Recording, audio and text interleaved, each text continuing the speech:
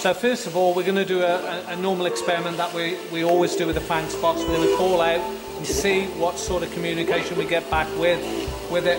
And again, we've got the white noise um, experiment going on here in front of us as well with the TVs. So we're just going to call out the Franks box and see what we get through.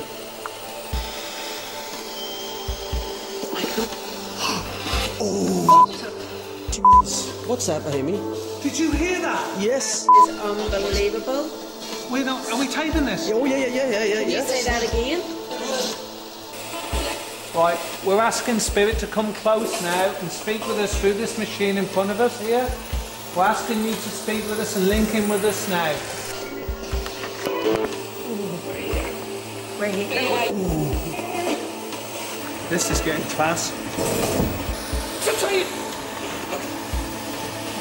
You got a message for us?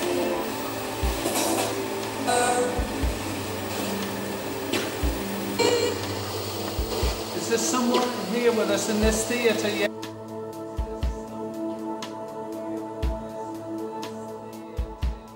Is there someone here with us in this theatre, yes or no? Right, we're here at the moment. We're going to do a white noise experiment. We've actually got the TVs here, and we've got them set on the white noise, and we've also got Frank's box. But we're going to try something very unique. Thank you. We're going to try something very unique for the first time, and we've got we've got um, a reverse speech application. And what we're going to do, I'm going to talk into this and call out to Spirit, and then we're going to play it back in reverse speech. So again, we're very excited about this, and we're going to start the experiment now. So I'm going to call out, and then we're going to listen to it in reverse speech and see if we get any answer back from the Frank's box. I'm going to have to put the uh, loudspeaker into this, and you'll still hear the Frank's box reasonably okay. So we might have to just do this now. I'm going to have to pull that speaker out because it's just too loud. So speaker out of that, Yep. and I'll turn this up. You should be able to hear that. Hello, my name's Michael. Can you give me your name, please?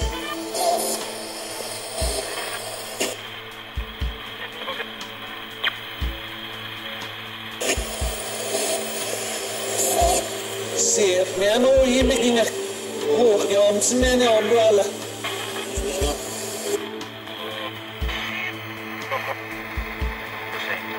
You see? That sounded like Backward.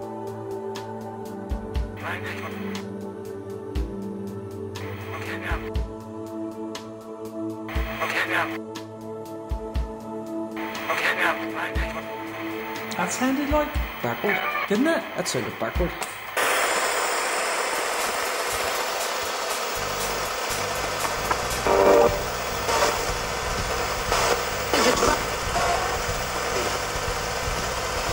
Can you give me the name, please, of the man or the person, the lady, whoever it may be, who sits in this theatre and lets people see him or her from time to time, looking down on them?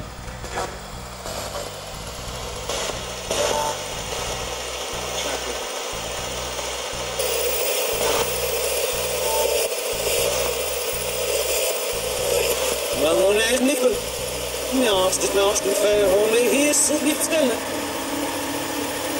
It's in the stress. Yeah, jag behöver hitta alla så. Push that! Push Come here, Lee.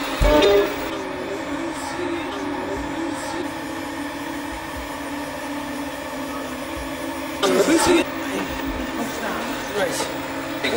That whole thing just went. You were nowhere near it, John. Just came forward. Have we got that on camera? Yeah, yeah, yeah. We have it. We all experienced that, didn't we? The whole thing just went. And what I'm more interested about was, I think it's just reverse speech. I think someone doesn't like it. Who done that? Who pushed the TVs? The whole TV was gonna, was pushed over in front of us. We couldn't see what was going on, but we heard it. That's why I ran up in case there was a problem. The. TV was TV pushed, pushed out to stop it from But being what pushed. we heard just before that happened was laughter, like people were being entertained from the the boundary mic on your. What sounded like laughter from people being entertained on the, on the boundary mic of the camera. Wow. Then, then all the things we got here with the. This TV was pushed over. TV, they were Well, I had to stop it, didn't I? Yes. John was there, and, and the TV was just the way it's. Michael. Mike, the TV pushed forward. It was going to fall over. I had to stop it. But I- Unbelievable. Just slightly before that, I thought I would have heard something, and I had my thoughts looking at looking as well, and then there was the whole The big. whole thing. Just, And this was in reaction to the reverse speech. I'm going to play it again. Okay. We didn't know, we couldn't see it, so we thought it was. Unbelievable. I think you're onto something else. I really do. Yeah. I'm only worried that it's bothering someone, but mm-hmm. you know. I thought the whole TV jumped. What actually happened, Scott, when I was at tell you, we were here, I played a big portion of reverse speech. In fact, I'll do it again, but what actually happened, the whole blimmin' what? It's that one there. The whole TV jumped. The whole, no, it it was cla- it was being pushed over. I stopped it from, from falling over. That is some energy. That's big energy. Yeah. Uh, Holly, I have never in my life, Paul, Picked. I have never in my life experienced energy like that. That was powerful. This was this was being pushed over in front of us, This all fell off and it was after the reverse speech. Unbelievable. This is the most amazing. We all three of us experienced it. We all freaked out, weren't we? Yeah. To be honest, freaked out. The whole thing fell off the top. We heard the bang. All that fell off. Oh, even the thing at the back of that has broke down there. That is the most powerful energy I've ever seen in my life working in the paranormal.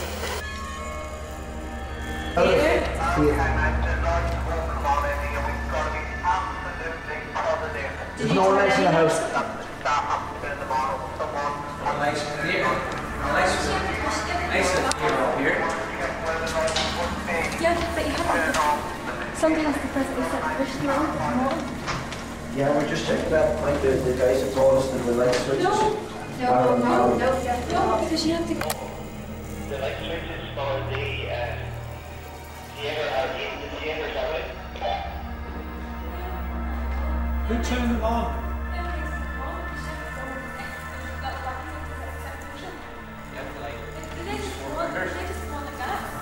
Yeah, they just come on about a minute ago.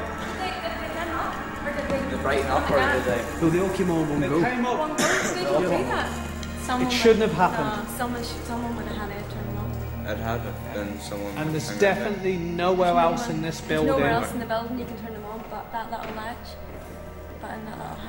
Then um, I'm, guys, I'm absolutely flabbergasted because these lights just come on on their own in the theatre. So unbelievable.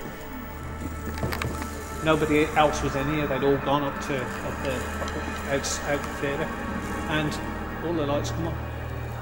Now, I I immediately radioed to the guys up there in the base station where all the all the equipment is and said, "Who's just turned the lights on?" And they said, "Nobody's turned the lights on. That your staff were actually out of the area." And Yeah, they were in the office. there you go. You, you can witness that. So what I'm saying, Adi, you as the manager of the playhouse, there's nowhere else in this building that these lights could have been turned on, but that we. No, it's only controlled from the one panel, one, which is just in through the hatch. Can I ask, and this is just to, to, to put all things out of, out of the question here, if someone walked past, would it be quite a job for to turn them on without actually going in there? No, well, you'd have to lean right round, Right, and you'd have to know which button. There's eight buttons, right, and they're on a dimmer. right. So the top one's full brightness, obviously different levels. So you'd have to know which one to touch as well, and even staff don't even know which one to hit. Right. Right, because can I tell you, AD, that me and, like say, just two of us in, they all came on together. Not even slowly, they just all come on. No, it, they build up and drop. No, they didn't. They, they- just came on. Like someone flipped the switch, they were on No, no, just as they are. But that's not the way them lights work. If I if I go up now and switch those lights off, they Slowly, slowly. slowly down. Okay. I've had a, I have an issue. I have an issue with lights and electric because it's a big building. It's expensive to run, so I constantly am on everybody's case to make sure they switch the lights off and all the rest of it. And I have ongoing arguments that I switch the lights off, come down, do what I have to do, come up 20 minutes later, and the lights are back on again. And I'll say who switched the lights on, and I always have a go at Gary because Gary's always showing people around the building and stuff, and he's going, I haven't been up to something. I'm going, well, I switched those lights off, and now they're back on again. And this is an ongoing battle. I have the lights and something now, it's, constant. there's nothing on timers or anything? No, no, no.